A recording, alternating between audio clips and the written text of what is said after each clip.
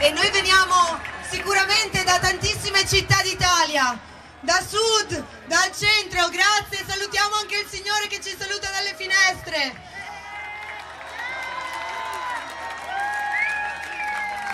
Diciamolo, solo per essere riusciti a venire qui oggi, già sono due risultati straordinari.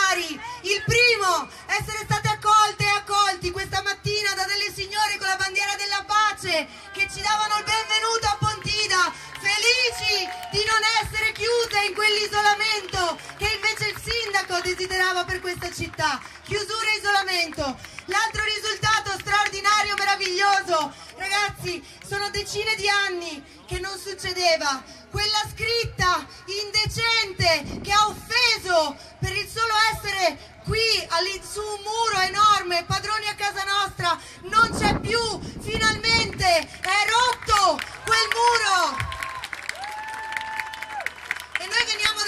Venezia, oggi è la giornata dell'orgoglio anche dei terroni del nord.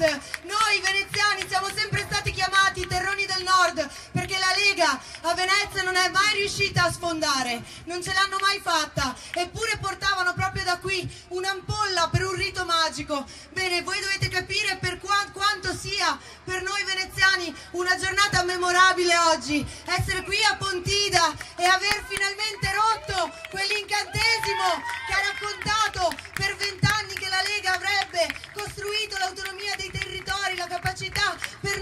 decidere. Noi lo sapevamo, siamo dei centri sociali, lo sappiamo da mo' che erano cazzate, ma ormai che questa è una bugia che non regge più, se ne è accorto tutto il mondo e tant'è vero che oggi finalmente le nostre bandiere, quelle di San Marco, di Venezia, quelle che la Lega ha provato per anni ad utilizzare come immaginario, non regge più. Questa bandiera di San Marco è nostra, l'abbiamo dimostrato il 19 marzo con 5.000 persone insieme a tutti i cittadini stranieri che in Veneto devono trovare un'accoglienza degna come in tutto il resto d'Italia. Ed è per questo che siamo venuti a Pontida insieme a persone da tutta Italia ed è per questo sempre che tra tre giorni, il 25 aprile, noi saremo in piazza per San Marco e con San Marco con le nostre bandiere. I centri sociali del nord-est si riprendono anche quella piazza.